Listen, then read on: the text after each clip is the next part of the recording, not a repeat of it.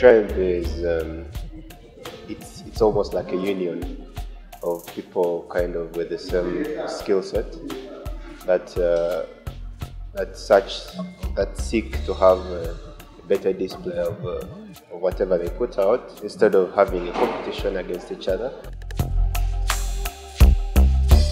People are getting to know that um, Ugandans can do really good work.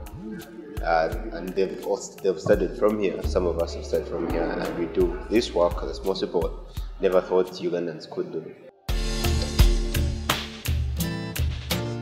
The Digiart Fest this year, I expect uh, I expect a double of whatever happened last year. I expect more people coming in to learn about art more because last year we got a lot of people surprised, and now they're going to come with a motive of learning even more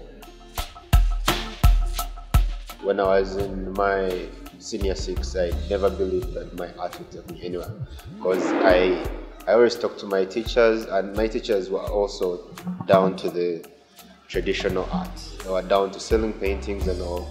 But getting out and going to university and seeing how the technology is also going with uh, with the art industry, you find an artist who's not just uh, traditional artist. They code, they do gaming, they do animation, and that is that is brilliant. It's good to know that it's growing that way, so we can have more more different people like programmers coming in to help.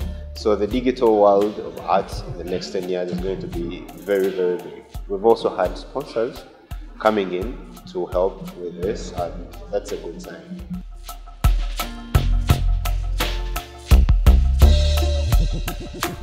The creative industry in Uganda, the more we go into digital, we tend to lose touch on the traditional side. And that's, that worries me because it's like 3D and 2D. Before you master 3D, you have to have a good idea of how 2D is. So the transition into digital, the traditional bit is crucial. And I feel like most people skip it uh, when they go to do graphics design, advertising, and all that, they skip on traditional traditional ways. You know, they don't uh, they, they don't work on their drawing skills, which is like the only tool for your mind to actually output something. You might find software that are amazing, but traditional will always be. The tribe Uganda, you could uh, we could make a bigger guild that connects with uh, Kenyan artists Tanzania, all across Africa, I've seen Nigerians do some good work.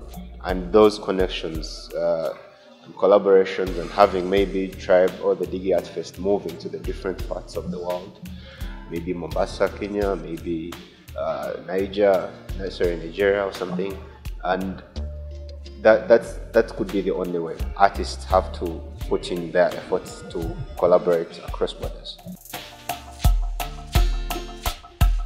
First off, the only advice here is don't look at money. Look at the skill. Uh, sell the skill. Fight for the skill. What you're fighting for is success. success comes everything. You're going to get wealthy when you know that the work you're, you're putting out there is the best. You're going to work on big projects. You're going to travel to different areas. You're going to learn a lot. You're going to be in apprenticeships. You're going to be offered internships, different different places. So that's the best thing. Invest in your skill. Work hard.